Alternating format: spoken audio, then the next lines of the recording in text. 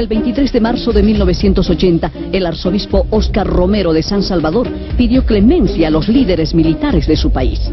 Yo quisiera hacer un llamamiento de manera especial a los hombres del ejército y en concreto a las bases de la Guardia Nacional, de la policía, de los cuarteles. Hermanos, son de nuestro mismo pueblo. En nombre de Dios, pues, y en nombre de este sufrido pueblo, cuyos lamentos suben hasta el cielo cada día más tumultuosos, les suplico, les ruego, les ordeno en nombre de Dios, cese la represión. Mientras celebraba la misa al día siguiente, el arzobispo Romero fue asesinado. Unos años más tarde, en los archivos de seguridad nacional en Washington, D.C., se hizo un descubrimiento importante al obtener la copia de un cable de difusión abierta. Kate Doyle.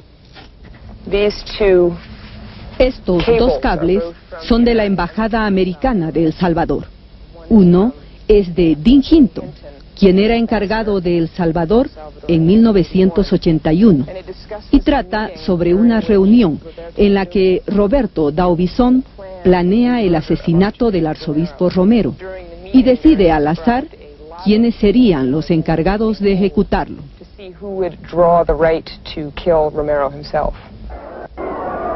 Davison recibió entrenamiento en la Escuela de las Américas, al igual que tres de los oficiales directamente responsables del asesinato.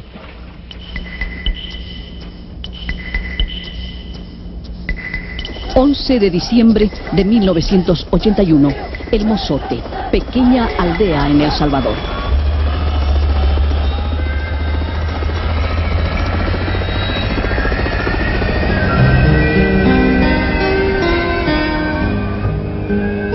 Primero llegaron y dijeron que todos salieran a la calle. Sacaron toda la gente de las casas y después la pusieron tendida boca abajo aquí en las calles, hombres y mujeres, boca abajo. Y los niños llorando. Los soldados estaban así, aquí, por un lado y por el otro, así. Y ellos cuando se dirigieron a ver las mujeres allá, yo lo que hice fue pues arrodillarme a la tierra, me arrodillé a la tierra así. Mataron a todos, y la única que sobrevivió fui yo por la gracia de Dios. Me encontraba debajo de ese arbolito cuando escuché los gritos de los niños. Yo sabía cuáles eran míos. Ellos lloraban y decían, Mami, nos están matando. Más de 900 hombres, mujeres y niños fueron masacrados, virtualmente la población entera de la aldea y de los alrededores de El Mozote.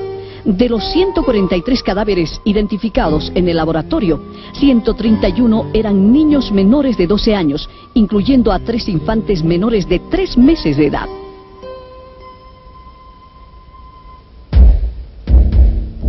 Diez de los 12 oficiales citados como responsables de la masacre del Mozote eran graduados de la Escuela de las Américas y miembros del batallón Atlacate, que es parte del ejército de El Salvador.